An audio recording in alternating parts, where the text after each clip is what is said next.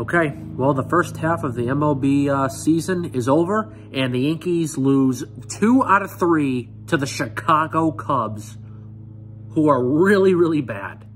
Really bad. We won yesterday. We got shut out 3-0 in the first game, and we are up 4-1. Volpe hits a two-run home run, and Higashioka follows him up with another solo home run. Makes it 4-1, and then the bullpen comes in and lays a big egg all over. Torres bobbles a double play ball, and just a mess. And we give up three unearned runs. Well, I would say two unearned, or one unearned and we lost 7 to four in the ninth inning. No effort at all. Yankee offense just was awful. They need new players. Um, All-Star break is coming up. We have uh, tomorrow is the Home Run Derby on ESPN, and then the All-Star game is on Fox on Tuesday night.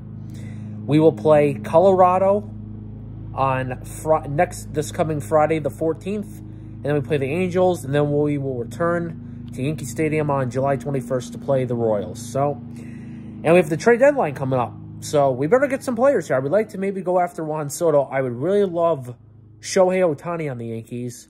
And I would really, really love Elly De La Cruz from the Cincinnati Reds. But that ain't going to happen.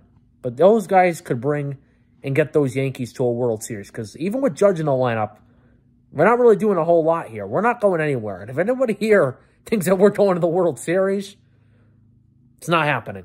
That's just crazy. We don't have a team that can get us there. We always get eliminated in the postseason anyway. So they, they need to fix this team ASAP. Uh, so no more games now till Friday. So just see what happens. They better do something here.